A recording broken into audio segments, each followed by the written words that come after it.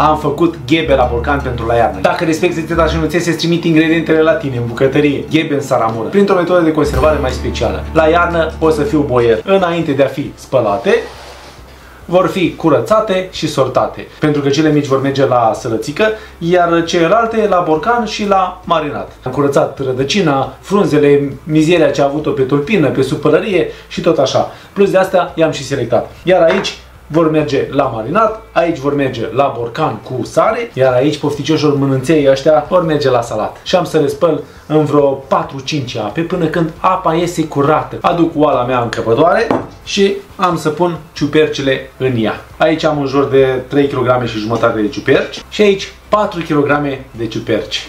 Da, iau și le pun. Uite așa. După cum știți, am 7 kg și jumătate de ciuperci, am să pun 8 lingurițe de sare. După care iau și umplu oala cu apă. Și aia e. Am să las focul mare până când apa începe să fiarbă, iar când începe să fiarbă, dau focul moderat și mai las încă 25-30 de minute. Am să pun o ceapă. Ceapa, în cazul în care am aici ciuperci dăunătoare, se va înverzi și să sperăm că nu se întâmplă. În timpul fierbirii veți vedea că se adună la suprafață spumă. Spuma aceea trebuie înlăturată. Au trecut 25 de minute, ceapa e albă, ceea ce e bine, indică faptul că nu avem ciuperci dăunătoare. Încă 5 minute și am să opresc focul. Ia că și oala cu ciupercile. Da, minunat arată, ofer 30 de minute, exact cum trebuie să fie. Și le pun aici.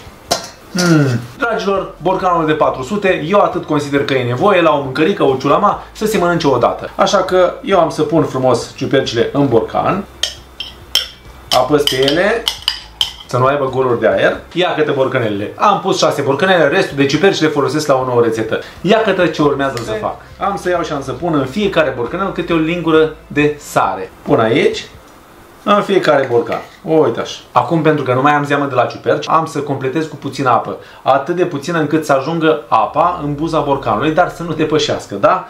Deci, puțin.